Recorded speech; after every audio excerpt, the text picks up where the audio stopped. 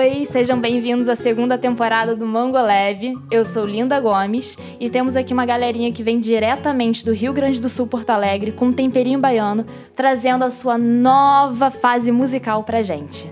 Meninos, sejam bem-vindos ao nosso Mango Estúdio que está de cara nova. Salve, salve. Obrigado aí por nos receber o convite. Esse lugar tá muito lindo e o trabalho tá, tá foda mesmo. Sejam muito bem-vindos. B, Tom e Zinga. É, vocês são de Porto Alegre, é isso mesmo?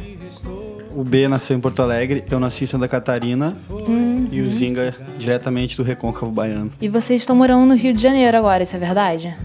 Sim, a gente chegou no Rio de Janeiro no final do ano passado. É, viemos para cá numa numa ideia de estar mais perto desse Brasilzão assim que a gente está trazendo para nossa música, a gente fazer outras conexões. É, em Porto Alegre, a gente já tem uma carreira de alguns anos atuando lá em Porto Alegre e na região sul, em Santa Catarina, em vários lugares. É, e a gente acha que às vezes tu tem que sair da tua zona de conforto para que novas coisas possam acontecer, né? Então a gente está aqui nessa busca de encontrar vocês, está aqui em vários lugares. E vocês acham que o fato de vocês estarem em terras cariocas ajudou na influência do samba ou isso já, era, já veio de antes?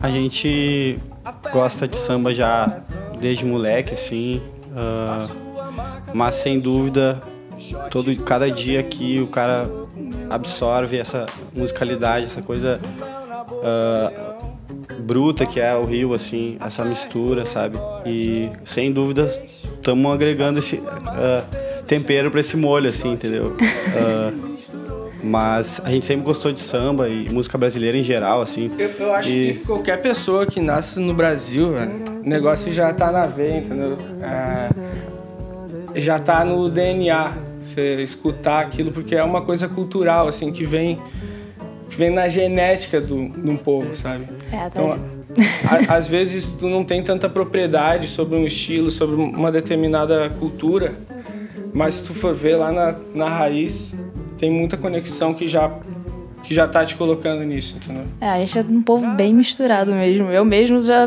perdi a conta dos meus antepassados aí. E eu sou do Recôncavo Baiano, né? De onde foi criado o samba de roda, de onde teve as primeiras manifestações de samba de roda e capoeira de Angola. E aí vem esses meninos agora fazendo esse trabalho mais brazuca, que é o que enche meus olhos. E aí eu só tenho que abraçar e seguir junto com eles. Eu conheço eles há algum tempo, uns dois anos mais ou menos. E sempre, sempre que vinha de Porto Alegre para cá, fazer um som, fazer show. Sempre teve um apoio percussivo aqui. Está gravando junto, fazendo várias coisas juntos. É isso, esse é o caminho, a mistura. Quais são, né, como é que a gente faz para achar vocês, no caso, o Good Samaritans, na internet, na, nas redes sociais? É, o nosso trabalho está bastante direcionado para a internet, uhum.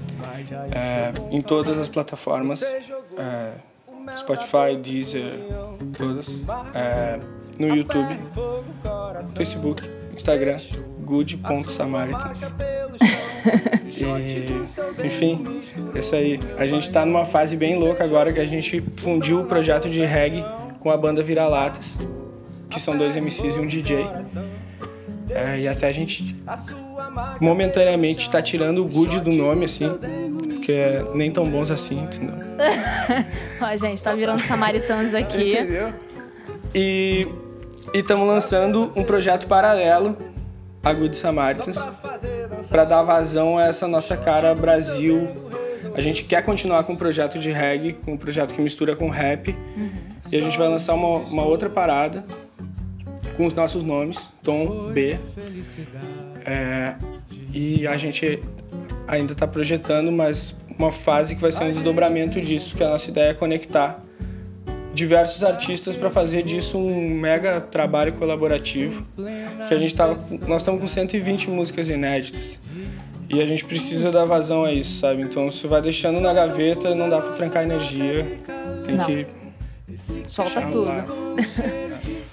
Meninos, muito obrigado por estarem aqui com a gente hoje. E esse foi mais um dia aqui no estúdio do Mangolab. Muito obrigada, eu sou Linda Gomes e até a próxima. Ah, e antes, lembra aí, se inscreve no canal, curte, se inscreve na página do Facebook, Instagram e, sei lá, todos os Mangolabs da vida. Até a próxima!